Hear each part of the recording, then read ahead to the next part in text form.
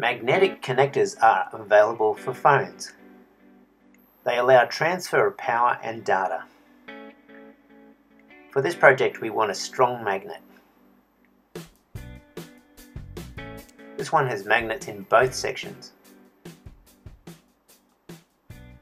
This one only has a magnet in the main base.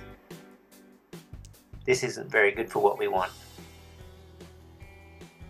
There are 8 pins and 4 wires. Only 3 of the 4 wires are useful. A multimeter is used to work out which pins actually work. We cut off the USB connector.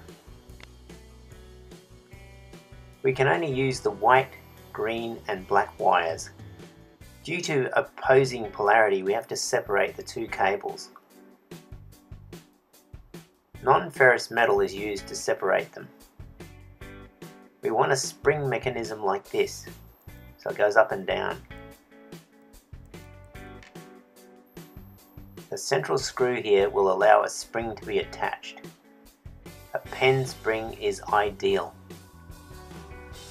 Use the plastic from a motorcycle surround. The plastic weld the parts. Here's a custom made housing. It's made to fit the top box rack plate. The connectors protrude through the rack plate. Wires are connected to the iPhone connectors. The soldering needs to be quite precise. We plastic weld the connectors into the box. Glue will not be strong enough, that's why we want the plastic. We arrange to connect to the bike. The power indicators brakes are all wired the rack plate here with the spring connectors is shown. The spring allows room for the box to press down.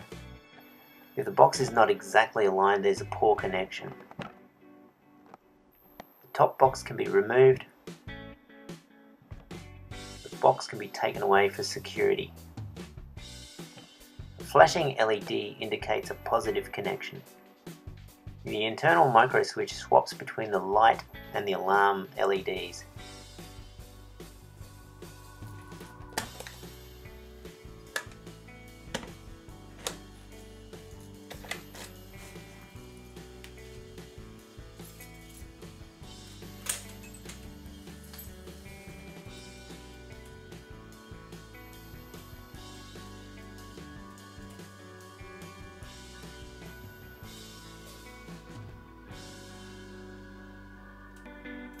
Stay tuned for upcoming plans of a remote opener. Thanks for watching.